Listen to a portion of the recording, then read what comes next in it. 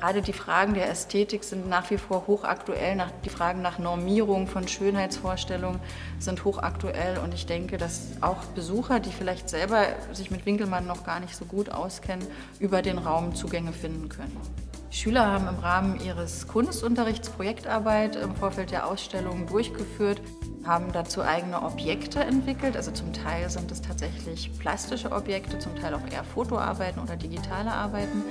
Dann hatten sie als Aufgabe eben auch einen Vermittlungsansatz zu finden, weil es eben ein interaktiver Vermittlungsraum sein soll. Also nicht nur eine Art Ausstellung der Schülerobjekte, sondern auch äh, aktivierende Momente für die Besucher, die dorthin kommen.